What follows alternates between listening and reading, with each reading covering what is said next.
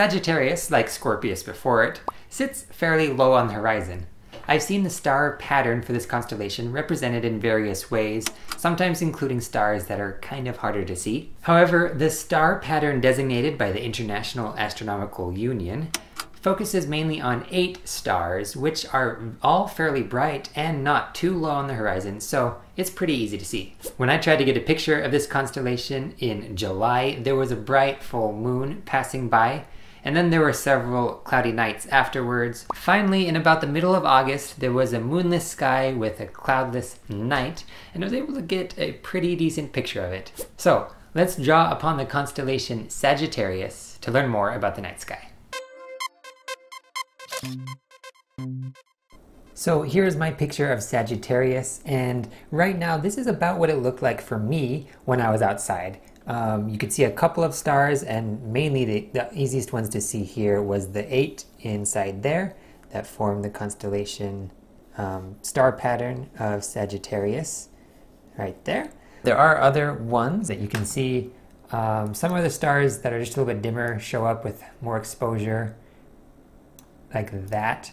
But again, a lot of those you won't see as well, depending on the conditions, of course, and how well your eyes are adapted to the darkness. Um, you may see some of that. In fact, there are some special objects that we'll talk about up in here, there I believe, that, uh, that you might be able to see. But it just really depends on the conditions and where you're at. Normally, you're likely just going to be able to see those eight stars in there. All right, let's move on. You can see Sagittarius after sunset from July to October. The month of August is a great time to look for it. In that month, if you're in the northern hemisphere, you can look due south between 9 and 11 p.m. That's Sagittarius's highest point when it crosses the celestial meridian. That's the imaginary line that divides east from west. To find Sagittarius, look for these eight bright stars that resemble a teapot. Recognizable shapes within a constellation, like this one, are called asterisms. This teapot asterism is fitting because if it's dark enough to see the Milky Way, then the foggy clouds of our galactic center rise out of the teapot spout like steam. It's a perfect picture. Sagittarius is bright enough that you should be able to spot it without any trouble if you're looking in the right direction during the right time of the year. But another way to find it is to look for a bright red star called Antares. That is the eye of the scorpion. From Antares, look east about 25 degrees. To measure that distance, Hold your hand out at arm's length with your pinky and your thumb extended. That's where you'll find the teapot. Sagittarius is Latin for archer. Its root, sagitta, means arrow. In Greek mythology, it's usually depicted as a centaur archer, sometimes identified as Chiron, the son of the titan Cronus and the water nymph Philyra. While most centaurs were notorious for being wild and violent creatures, Chiron was said to be intelligent, civilized, and kind. In the sky, Sagittarius's arrow points at the heart of the scorpion. You can follow the path of Delta and Gamma Sagittarii towards Antares. Let's talk some more about specific stars.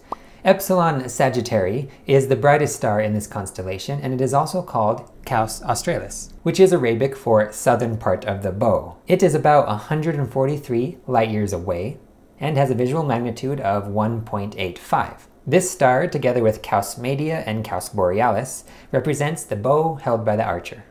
The second brightest star in this constellation is Sigma Sagittarii, also called Nunki. The meaning of this name is unclear, but it's thought to represent the sacred Babylonian city of Eridu on the Euphrates River. This star's magnitude is 2.08, and it lies about 228 light years away.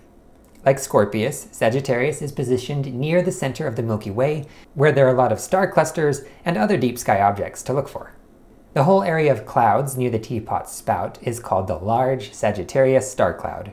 It is the brightest visible region of the Milky Way, and you can see that here in this picture. In that area, you can find Messier 20, also known as the Trifid Nebula, which is an unusual combination of three kinds of nebula, an emission nebula, reflection nebula, and a dark nebula. I won't go into the differences between those in this video, but maybe another time. The Trifid Nebula also includes an open star cluster, which means a loose grouping of stars. You can apparently see its color through a telescope without the need of a long exposure. Close by is the Lagoon Nebula, also known as Messier 8. It is a giant interstellar cloud classified as an emission nebula and is one of the only two star-forming nebula faintly visible to the naked eye from mid-northern latitudes. Its visual magnitude is 6, so you'll need excellent conditions to see it, and without a long exposure photograph, it'll look mostly gray. It's between 4,000 and 6,000 light years away. Finally, I'll point out Messier 54, near the bottom left of the teapot by Zeta Sagittarii. This is a globular star cluster, meaning a tight grouping of stars, estimated to be a whopping 87,000 light years away. It was first discovered by Charles Messier in 1778, but it wasn't until 1994 that astronomers learned it is most likely beyond our Milky Way galaxy, probably belonging to the Sagittarius dwarf elliptical galaxy. Although it contains thousands of stars, it is so far away that even through most amateur telescopes, it still looks like a singular spot of light. Well, that's all for now. There's still plenty more to look for, but we'll stop this video now. I, for one, am excited to take my telescope out and see if I can find some of these things. If I do and I can get some good pictures of them, I will post them online at a special place for you guys to see called Patreon. You can now sign up to receive exclusive updates and extra content. You can get some digital downloads of my art for some out of this world desktop wallpapers that's right, I'm making these pictures into desktop wallpaper backgrounds that you can download. It's pretty cool. I use them as my desktop, so. Or maybe you want a special sticker designed right here on this channel. Yeah, you can get that there too. Find out all the perks and support me at patreon.com slash Rasmussen. Link below. That's all for now. Next time the sky is clear, take a moment to get outside and admire the stars. See if you can spot the Milky Way steaming out of the teapot. Could be cool. Please have a good day. Keep looking up and remember to smile.